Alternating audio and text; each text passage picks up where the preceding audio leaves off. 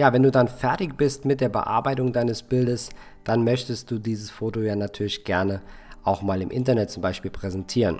Und dazu musst du es aus Facebook nochmal exportieren bzw. abspeichern, sei es jetzt als JPEG-Bild oder als PNG oder welches Format auch immer.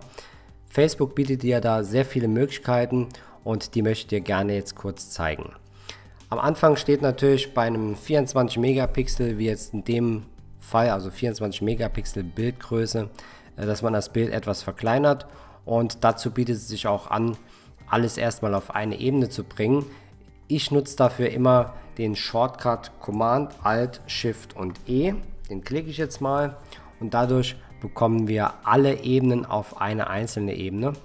Und die kann ich jetzt über Auswahl alles auswählen und dann bearbeiten, kopieren, in die Zwischenablage kopieren und mache mir dann einfach Datei neu, ein neues Bild, klicke OK und gehe dann auf Bearbeiten, einfügen und habe jetzt hier nur dieses eine Bild drin, beziehungsweise nur diese eine Ebene.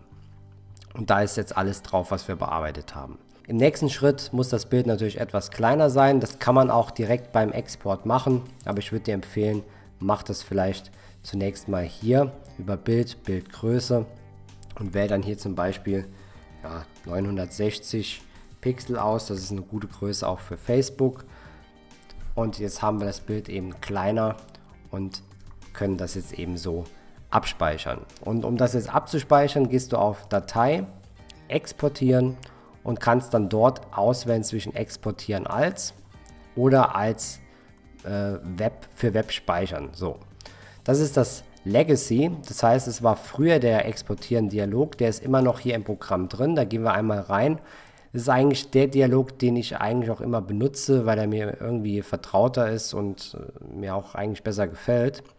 Du kannst hier äh, dein Bild einmal sehen und kannst hier rechts auswählen, was du für ein Format haben möchtest beim Speichern, JPEG, PNG zum Beispiel und kannst hier unten auch nochmal die Bildgröße für den Export eben bestimmen und gehst dann einfach auf Speichern. Der neue Dialog ist eben Datei exportieren, exportieren als und auch hier kannst du auswählen, welches Bildformat du speichern möchtest. Du kannst die Bildgröße nochmal hier ändern und auch ob die Metadaten mit abgespeichert werden sollen.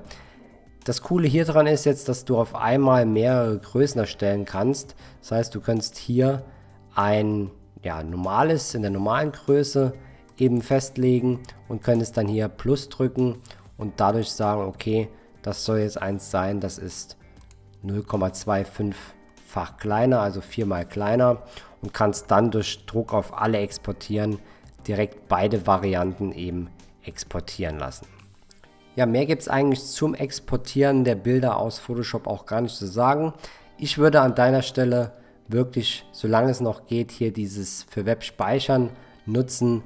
Ich finde den Dialog irgendwie besser, aber das ist sicherlich auch Geschmackssache.